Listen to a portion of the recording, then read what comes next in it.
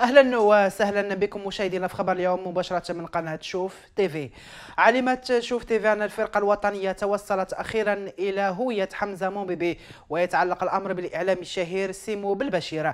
وقد اعترفت عائشة عياش أثناء التحقيق معها أن سيمو بالبشير هو حمزة مومبيبي وأنها ظلت على علاقة به وفي اتصال معه حتى بعد تفجير القضية. واستدعاء دنيا بطمة وشقيقتها ابتسام للاستنطاق وكشفت سعيد شرف.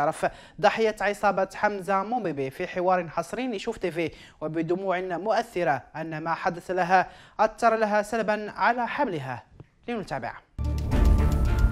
بالنسبة لي أقسم بالله كنبكي الدم من الداخل ديالي لأنه راه تاذيت وليل ونهار كنقول يا ربي بغيت غنعرف شكون اللي وراي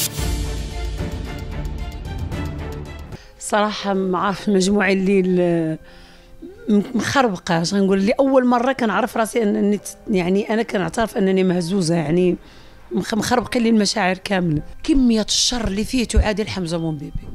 أول ما تلقيت الخبر من من شفتي فيه يعني من من الموقع ديالكم لأنه أنا أبوني فأول ما دخلت اليوتيوب ك كيبان لي الخبر و باش غنقول لك؟ بقيت تقريبا على ما يزيد فوق الخمس دقائق وأنا مصدومة. بكيت بكيت بكيت. شنو بكاك لاله سعيده كاني الحقرة. بكاني أش درت لك يا سيمو بالبشير. بكاني فين كنعرفك؟ شبيني معاك؟ ما عمر تلاقى وجهي مع وجهك. تحقرت تظلمت. علاش هادشي كامل؟ هادشي لخدمة من؟ خبر اليوم انتهى. شكرا على حسن المتابعة. إلى اللقاء.